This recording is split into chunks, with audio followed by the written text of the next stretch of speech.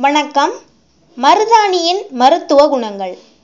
மருதாணியின் பூ இலை விதை வேர் பட்டை என அனைத்தும் மருத்துவ குணம் கொண்டவை. மருதாணிக்கு சரணம் மருதோன்றி அலவணம் ஐவனம் என பல பெயர்கள் உண்டு.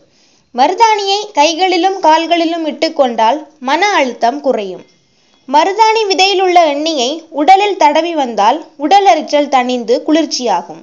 வாதம் பித்தம் சம்பந்தப்பட்ட நோய்களுக்கும் மருதாணி சிறந்த மருந்தாக பயன்படுகிறது.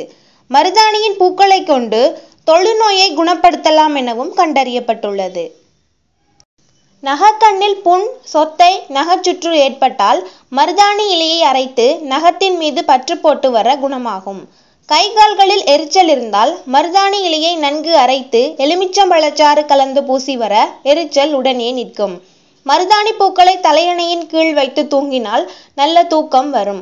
மூளையில் ஏற்பட்ட சூட்டை தணித்து உடலுக்கும் மனதிற்கும் புத்துணர்வு ஏற்படுத்தும். மருதாணி இலையை நீர் விட்டு இரவு முழுவதும் ஊற வைத்து மறுநாள் காலையில் கொதிக்க வைத்து கஷாயமாக்கி அதனை சுளுக்கு ஏற்பட்ட இடத்தில் ஒத்தடமிட்டு வர சுளுக்கு குணமாகும்.